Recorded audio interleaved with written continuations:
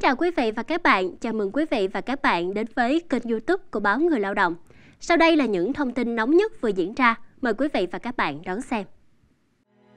Sáng nay ngày 30 tháng 10, tiếp tục chương trình kỳ họp thứ 6 Quốc hội khóa 15, Quốc hội sẽ thảo luận ở hội trường về việc triển khai thực hiện các nghị quyết của Quốc hội về các chương trình mục tiêu quốc gia về xây dựng nông thôn mới giai đoạn 2021 đến 2025, giảm nghèo bền vững giai đoạn 2021 đến 2025, phát triển kinh tế xã hội vùng đồng bào dân tộc thiểu số và miền núi giai đoạn 2021 đến 2030.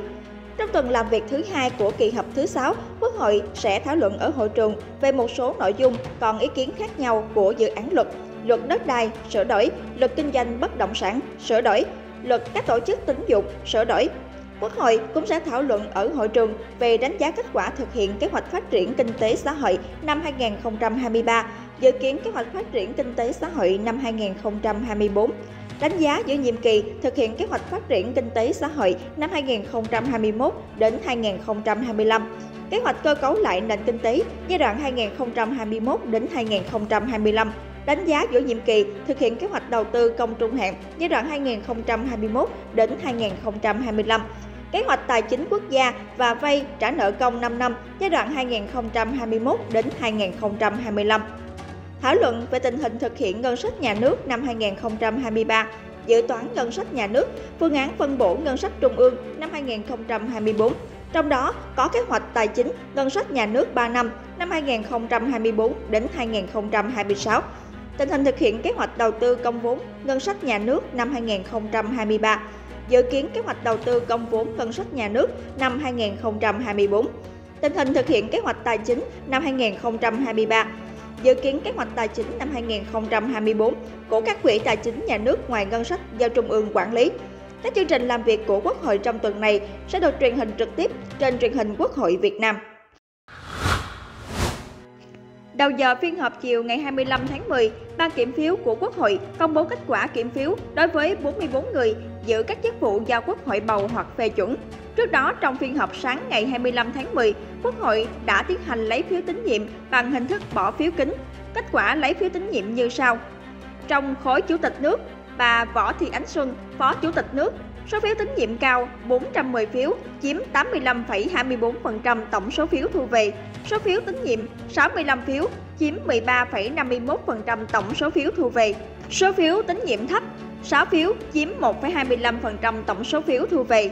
Trong khối quốc hội, ông Vương Đình Huệ, Chủ tịch Quốc hội, số phiếu tín nhiệm cao 437 phiếu, chiếm 90,85% tổng số phiếu thu về. Số phiếu tín nhiệm 32 phiếu, chiếm 6,65% tổng số phiếu thu về. Số phiếu tín nhiệm thấp 11 phiếu, chiếm 2,29% tổng số phiếu thu về. Ông Trần Thanh Mẫn, Phó Chủ tịch Thường trực Quốc hội, số phiếu tín nhiệm cao 414 phiếu, chiếm 86,07% tổng số phiếu thu về. Số phiếu tín nhiệm 63 phiếu, chiếm 13,10% tổng số phiếu thu về. Số phiếu tín nhiệm thấp 4 phiếu, chiếm 0,83% tổng số phiếu thu về. Ông Nguyễn Khắc Định, Phó Chủ tịch Quốc hội, số phiếu tín nhiệm cao 392 phiếu, chiếm 81,50% tổng số phiếu thu về. Số phiếu tín nhiệm 85 phiếu, chiếm 17,67% tổng số phiếu thu về. Số phiếu tín nhiệm thấp 3 phiếu, chiếm 0,62% tổng số phiếu thu về. Ông Nguyễn Đức Hải, Phó Chủ tịch Quốc hội, số phiếu tín nhiệm cao 391 phiếu, chiếm 81,29% tổng số phiếu thu về. Số phiếu tín nhiệm 87 phiếu, chiếm 18,09% số phiếu thu về. Số phiếu tín nhiệm thấp 2 phiếu, chiếm 0,42 tổng số phiếu thu về. Ông Trần Quang Phương, Phó Chủ tịch Quốc hội, số phiếu tín nhiệm cao 426 phiếu, chiếm 88,57% tổng số phiếu thu về. Số phiếu tín nhiệm 49 phiếu, chiếm 10,19% tổng số phiếu thu về. Số phiếu tín nhiệm thấp 3 phiếu, chiếm 0,62% tổng số phiếu thu về. Trong khối chính phủ, ông Phạm Minh Chính, Thủ tướng Chính phủ, số phiếu tín nhiệm cao 373 phiếu, chiếm 77,55% tổng số phiếu thu về. Số phiếu tín nhiệm 90 phiếu, chiếm 18,71% tổng số phiếu thu về. Số phiếu tín nhiệm thấp 17 phiếu, chiếm 3,53% tổng số phiếu thu về. Ông Lê Minh Khái, Phó Thủ tướng Chính phủ, số phiếu tín nhiệm cao 384 phiếu, chiếm 79,83% tổng số phiếu thu về. Số phiếu tín nhiệm 90 phiếu, chiếm 18,71 tổng số phiếu thu về. Số phiếu tín nhiệm thấp 6 phiếu, chiếm 1,25% tổng số phiếu thu về. Trong khối tòa án, Viện Kiểm sát, Kiểm toán Nhà nước, ông Nguyễn Hòa Bình, chánh án Tòa án Nhân dân tối cao, số phiếu tín nhiệm cao 311 phiếu, chiếm 64,66% tổng số phiếu thu về. Số phiếu tín nhiệm 142 phiếu, chiếm 29,52% tổng số phiếu thu về. Số phiếu tín nhiệm thấp 28 phiếu, chiếm 5,82% tổng số phiếu thu về. Ông Lê Minh Trí, Viện trưởng Viện Kiểm sát Nhân dân tối cao, số phiếu tín nhiệm cao 337 phiếu, chiếm 70,21% tổng số phiếu thu về. Số phiếu tín nhiệm 130 phiếu, chiếm 27,08% tổng số phiếu thu về. Số phiếu tín nhiệm thấp 11 phiếu, chiếm 2,29% tổng số phiếu thu về. Ông Ngô Văn Tuấn, Tổng Kiểm toán Nhà nước, số phiếu tín nhiệm cao 292 phiếu, chiếm 60,71% tổng số phiếu thu về. Số phiếu tín nhiệm 173 phiếu, chiếm 35,97% tổng số phiếu thu về. Số phiếu tín nhiệm thấp 14 phiếu, chiếm 2,91% tổng số phiếu thu về. Trong khuôn khổ chương trình kỳ họp thứ 6 Quốc hội khóa 15, trong phiên họp sáng ngày 25 tháng 10, Quốc hội đã tiến hành lấy phiếu tín nhiệm bằng bỏ phiếu kính đối với 44 người giữ chức vụ do Quốc hội bầu hoặc phê chuẩn. Đầu giờ phiên họp chiều, ban kiểm phiếu công bố kết quả kiểm phiếu. Theo đó, trong khối Quốc hội, Chủ tịch Quốc hội Vương Đình Huệ nhận được 437 phiếu tín nhiệm cao, chiếm 90,85% tổng số phiếu thu về. 32 phiếu tín nhiệm chiếm 6,65% tổng số phiếu thu về và 11 phiếu tín nhiệm thấp chiếm 2,29% tổng số phiếu thu về. Trước đó, phát biểu tại phiên khai mạc kỳ họp thứ 6 Quốc hội khóa 15, Chủ tịch Quốc hội Vương Đình Huệ cho biết lấy phiếu tín nhiệm là phương thức giám sát quan trọng, thể hiện sự ghi nhận, đánh giá của Quốc hội đối với những nỗ lực, cố gắng và kết quả công tác từ đầu nhiệm kỳ đến nay của những người được lấy phiếu tín nhiệm. Trên cơ sở báo cáo của người được lấy phiếu tín nhiệm đã gửi đến từng đại biểu Quốc hội, lấy ý kiến của cử tri từ thực tiễn theo dõi, giám sát của mình.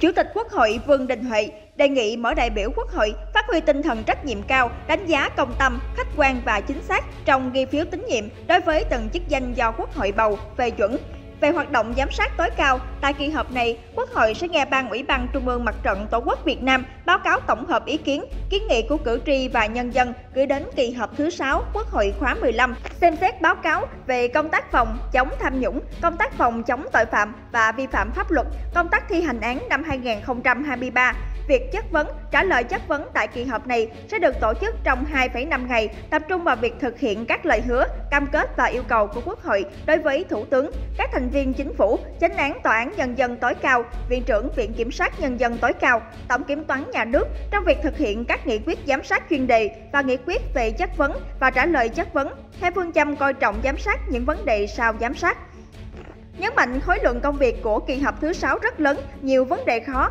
phức tạp, đặt ra yêu cầu rất cao đối với Quốc hội, Ủy ban Thường vụ Quốc hội và từng đại biểu Quốc hội. Chủ tịch Quốc hội Vương Đình Huệ đề nghị các đại biểu Quốc hội tiếp tục phát huy, thực hiện hiệu quả hơn nữa vai trò và trọng trách của người đại biểu nhân dân, đoàn kết, tâm huyết, trách nhiệm hơn nữa trong thực hiện nhiệm vụ đại biểu Quốc hội, phát huy tinh thần dân chủ đối với từng nội dung của kỳ họp. Trong phiên họp chiều ngày 25 tháng 10 kỳ họp thứ 6 Quốc hội khóa 15, Ban kiểm phiếu đã công bố kết quả kiểm phiếu lấy phiếu tín nhiệm đối với 44 người giữ chức vụ do Quốc hội bầu hoặc phê chuẩn. Nói về việc lấy phiếu tín nhiệm, Chủ tịch Quốc hội Vương Đình Huệ cho biết lấy phiếu tín nhiệm là phương thức giám sát quan trọng, thể hiện sự ghi nhận, đánh giá của Quốc hội đối với những nỗ lực, cố gắng và kết quả công tác từ đầu nhiệm kỳ đến nay của những người được lấy phiếu tín nhiệm. Trên cơ sở báo cáo của những người được lấy phiếu tín nhiệm đã gửi đến từng đại biểu Quốc hội, lắng nghe ý kiến của cử tri, từ thực tiễn theo dõi, giám sát của mình, Chủ tịch Quốc hội Vương Đình Huệ đề nghị mọi đại biểu Quốc hội phát huy tinh thần trách nhiệm cao, đánh giá công tâm, khách quan và chính xác trong ghi phiếu tín nhiệm đối với từng chức danh do Quốc hội bầu, phê chuẩn. Ông Nguyễn Tuấn Anh, Phó trưởng ban công tác đại biểu thuộc Ủy ban Thường vụ Quốc hội cho biết Quốc hội khóa 15 từ đầu nhiệm kỳ đến nay đã bầu và phê chuẩn 50 chức danh. Hiện có 49 chức danh thuộc diện lấy phiếu tín nhiệm. Tuy nhiên, theo quy định thì những người có thông báo chờ nghỉ hưu hoặc chức danh được bầu phê chuẩn trong năm 2023 không thuộc diện lấy phiếu tín nhiệm tại kỳ họp thứ 6 do chưa đủ một năm giữ chức vụ. Trong kỳ họp này, 5 trường hợp không phải lấy phiếu tín nhiệm lần này do mới được Quốc hội bầu phê chuẩn trong năm 2023 gồm Chủ tịch nước Võ Văn Thưởng, Phó Thủ tướng Trần Hồng Hà, Phó Thủ tướng Trần Lưu Quang, Bộ trưởng Bộ Tài nguyên và Môi trường Đặng Quốc Khánh, Chủ nhiệm Ủy ban Tài chính Ngân sách của Quốc hội Lê Quang Mạnh.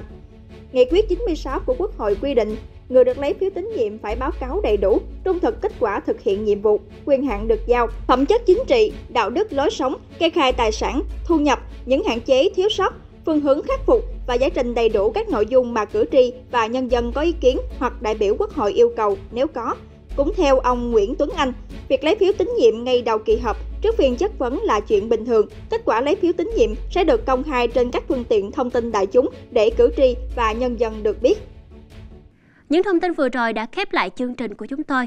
Quý vị đừng quên đăng ký kênh để trở thành người đầu tiên theo dõi những thông tin mới nhất trên kênh YouTube của báo Người Lao động. Cảm ơn sự đồng hành của quý vị. Xin chào và hẹn gặp lại quý vị và các bạn ở những chương trình sau.